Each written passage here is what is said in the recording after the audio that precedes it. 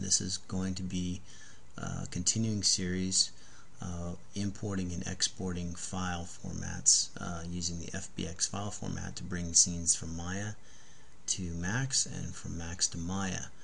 Uh, the last tutorial I did was the PhysX plugin, rigid body solver, uh, just having a, a, simple primitive sphere, ball call it, and we exported that uh, after completing that uh, from Maya and brought that into Max. This one, this side, we're going to do the Max side and we're going to bring that and import it into Maya when we're completed with that scene. Um, now I've already prepared a scene here um, and I'm not going to go into the settings for the PhysX settings because I did it on the Maya side. I'll brush over them but I'm not going to go in big depth about it. Um, I've already pretty much preset the scene up. Um, I've got a, a, plane on the very bottom here again like uh, before and I've just added a quick texture sand texture on there um, to make it a little bit more interesting. And I've got a ball that I got from Turbo Squid. It's a beach ball and it's a free um, model there on their website. So I'd like to thank them for that uh, for this demonstration. Alright so let me go ahead and just um, I already grouped these in the PhysX uh, solver so that the ground plane is a dynamic static object and the the sphere is a dynamic object. So let me go ahead and push play on that.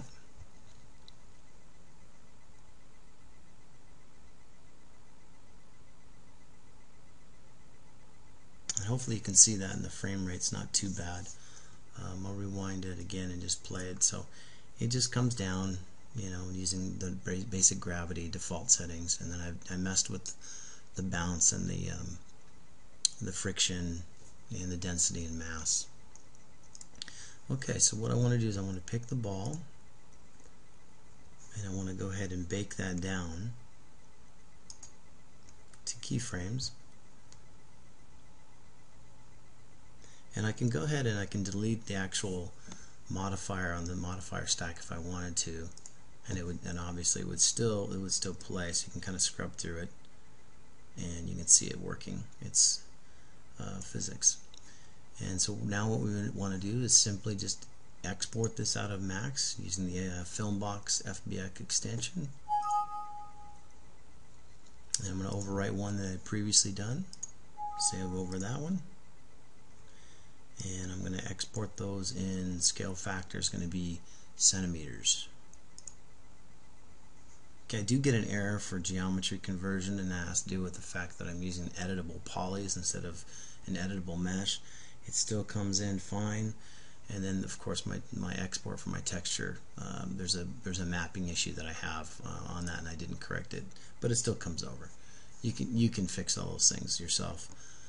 Okay, so now I'm going to go over to the Maya side, and I'm going to go ahead and import that scene file.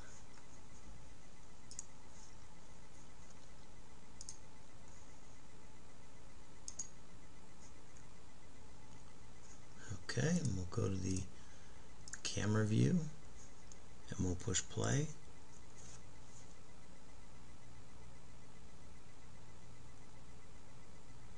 And there it is. It also, just a note, it does, for some reason, I, haven't figured this out yet, it actually changes the time, my timeline from 240 frames to 190. Now you can you can go back in here and and change uh, change those uh, the timeline again yourself. Um, it, it, it does it based on a 24 frame per second.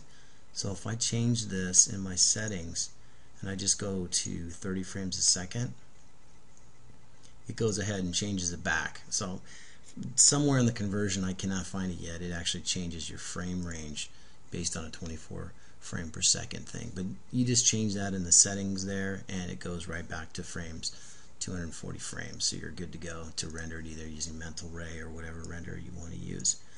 Okay um, that's it. Um, like I said we're going to be doing more and more advanced tutorials uh, for the CG Brothers